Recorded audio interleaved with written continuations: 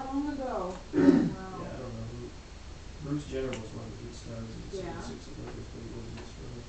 Uh, I remember stuff, I remember Jenner. There was a snow mountain. And then they turned in this one building at the Olympic Park into ecosystems. That's why one of them's tropical, one of them's Antarctic.